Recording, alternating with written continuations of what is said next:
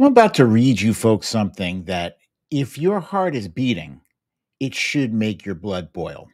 But first, make sure you hit the like and subscribe button. And what the heck is up with Trump and Republicans and the cruelty towards dogs? A lot of people choke. They choke like dogs. They can't breathe. Oh! He choked.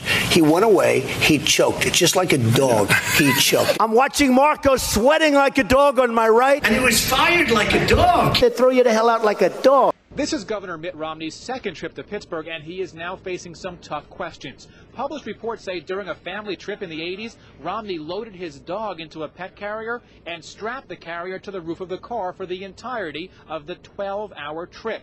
She lied like a dog. I see her barking like a dog. Fast forward to today, where many of us are learning that Governor Kristi Noem, uh, who infamously posted that super creepy video about how great my out of state dentist is. Well, hi, I'm Kristi Noem. I'm the governor of South Dakota and had the opportunity to come to Smile, Texas to fix my teeth, which has been absolutely amazing. She's one of the front runners to be selected as Donald Trump's vice presidential running mate. She apparently wrote a book that maybe she should have thought twice about, like that creepy dental video. Ugh. But at the very least, maybe she should have thought twice about including this segment about what she did to a 14 month old dog named Cricket that she deemed untrainable. In an article by The Guardian, it writes In 2024, Kristi Noem, a strong contender to be named running mate to Donald Trump, the presumptive Republican nominee, has managed to go one further by admitting killing a dog of her own. I hated that dog, Noem writes, adding that Cricket had proved herself untrainable, dangerous to anyone she came in contact with, and less than worthless as a hunting dog. At that moment, Noem says, I realized I had to put her down. Noem, who also represented her state in Congress for eight years, got her gun, then led Cricket to a gravel pit. It was not a pleasant job, she writes, but it had to be done. And after it was over, I realized another unpleasant job needed to be done.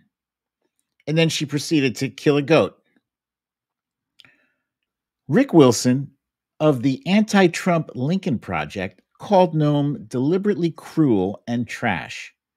Ryan Busse, the Democratic candidate for governor of Montana, said, Anyone who has ever owned a bird dog knows how disgusting, lazy, and evil this is.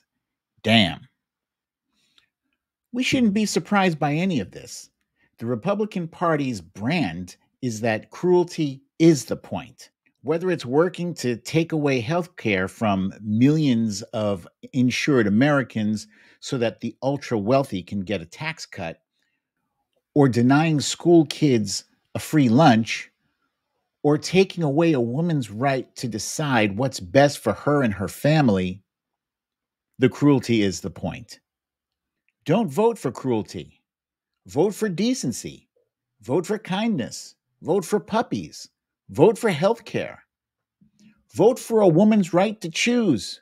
Vote blue for Democrats and President Biden and Vice President Kamala Harris.